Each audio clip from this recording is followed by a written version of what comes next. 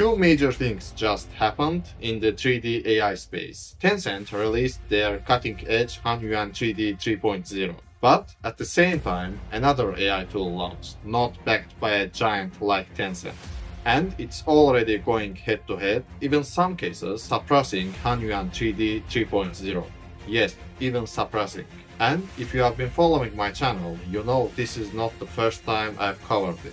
Back when it was called Sparc 3D, even version 1.0 was groundbreaking. This is a revolution in AI 3D modeling, literally. And I'm not sure where to start or how to start. Instead, let me show you a few models and explain what's going on.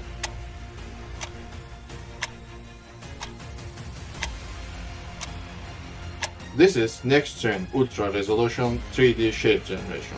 I wanted to make a comparison video for this, but I wasn't able to find a counterpart. Introducing Sparc 3D. I could talk a lot about its scientific papers and documentations, but the important thing is what it delivers to us in the end.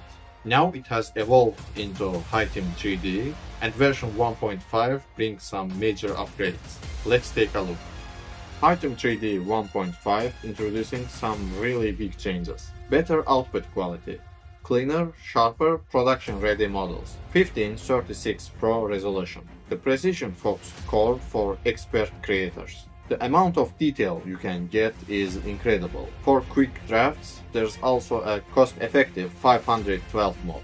Faster, cheaper, perfect for hobbyists. Portrait mode trained specifically for faces and characters, so you can get much more lifelike results. Multi-view feature. This one is really what I was looking for in an AI tool for a long time. Because if you combine this resolution with multi-view, we'll get something really really good. It solves the problem of missing or distort backsides and makes the whole model way more precise. A retry system. 3 free regeneration per model, so you can refine results without wasting credits. And finally, seamless FBX, OBJ and STL export with texture support, making it easy to drop your models right into Blender, Unity or any pipeline you are already working in.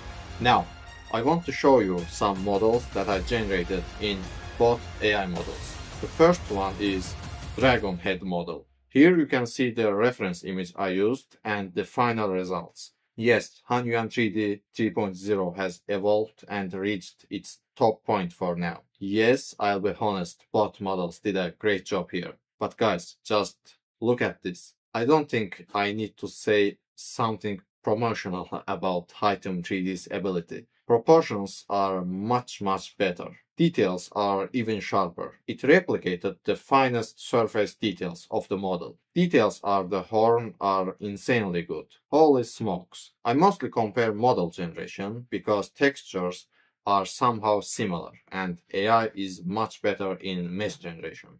But the color palette of Hitem 3D's textures is much closer to the reference image. Okay, let's check another example now. Here we have a portrait of me. The best thing about Hitem 3D is that it has a portrait mode.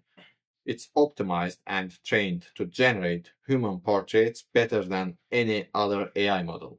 So I used it to make a model of me and this is the result. If Hitem 3D didn't exist, I would call Hunyuan 3D's result the best one we can get now.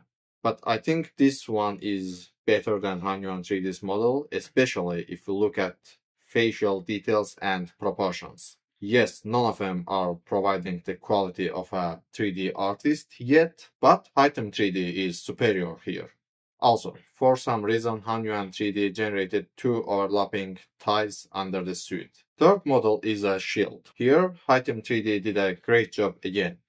And when we look at the backside, we can see that it understands the back better and, and adds screws there. The surface details are better too. These screws are connected to the ones on the front side. Also, if you look at the ornaments, we can definitely see that Hitem 3D did a great job there. The only downside of Hitem 3D in this model is these radial screws. They could be a bit better, but I feel like if I generate the same model again, they can be fixed. These scratches are much more scratch-like in Hitem 3D's model. while on Hunyuan 3ds model they look like a big screw. I don't know. Another example. This is a head model of a Viking, I would say. Both models are great, really, but if we want to see clarity and sharpness, we have to check Hitem 3ds model. The amount of detail is amazing. The horns, the screws. Objectively speaking, textures are also better on Hitem 3ds model. Colors are much more accurate. One more example, a sci-fi robotic head. Both models are detailed enough, but Hitem 3D generated some more details compared to Hunyuan 3D. And if you are not satisfied on the first try, remember, you can use the retry feature to regenerate and refine it. And finally, about. Don't know why Hunyuan 3D added these strange elements underneath it, and we have some hard edges on Hitem 3D's model.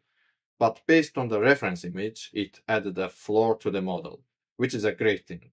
If I wanted to do a retopology and then bake all maps from high poly to low poly, I will definitely use this one, because here we have much more detail on the model, especially on the wooden planks.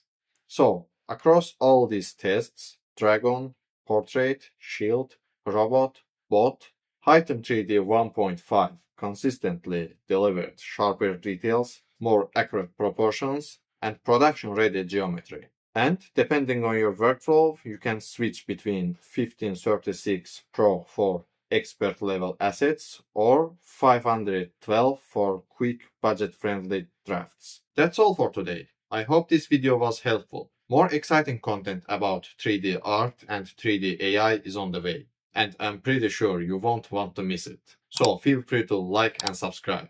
Thanks in advance. Until then, take care. Thanks for watching. Stay in touch.